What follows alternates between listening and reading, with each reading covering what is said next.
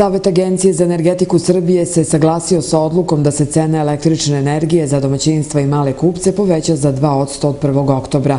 Na osnovu te odluke, cena električne energije za domaćinstva i male kupce se povećavaju prosječno za 2% od 1. oktobra 2017. godine, a vlada Srbije će nastaviti da vodi odgovornu socijalnu politiku kroz sistem podrške energetski ugroženim kupcima, zašto je u budžetu Ministarstva rudarstva i energetike obezbeđeno milijardu i 150 miliona dinara na godišnjem nivou nivou.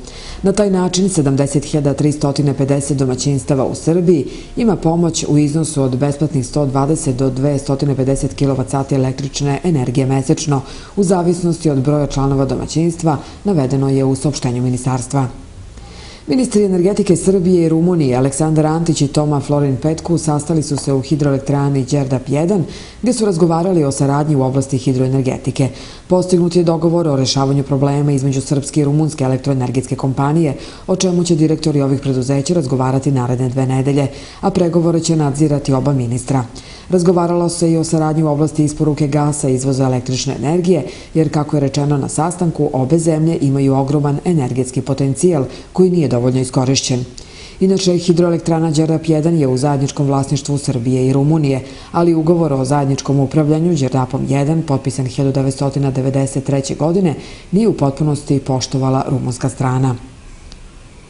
Dinar je danas zadržao približno istu vrednost prema evru kao i juče i zvanični srednji kurs će iznositi 119,16 dinara za evro, objavila je Narodna banka Srbije. Indikativni kurs dinara prema dolaru je oslabio danas za 0,2% na 100,52 dinara za 1 dolar.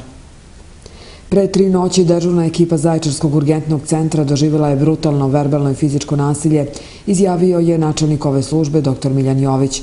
On i njegov kolega iz hitne pomoći, dr. Miroslav Nedeljković, obratili su se javnosti i apelovali na pacijente za više tolerancije i uvažavanje lekara koji pružaju medicinsku pomoć.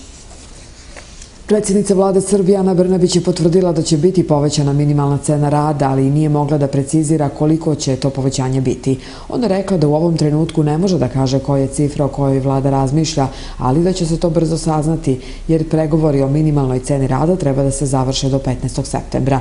Ti pregovori, dodala je, teku dobro, ali postoji do nekle značajna razlika između onoga što sindikati traže i onoga na što su poslodavci spremni da pristanu.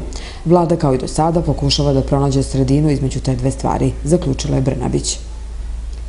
Nova školska godina za učenike osnovnih i srednjih škola počinje danas, a učenike petog razreda očekuju tri nova predmeta. Fizičko i zdravstveno vaspitanje, tehnika i tehnologija i informatika i računarstvo. Đaci će ove godine imati jesenji raspust, a u nekim školama biće uvedeni elektronski dnevnici i školske uniforme. U prvi razred osnovne škole u Srbiji ove školske godine polazi 68.128 učenika, što je za 722 manje nego prošle godine. Do kraja dana u Zaječaru sunčano i toplo vreme. Najviša dnevna temperatura 32 stepena.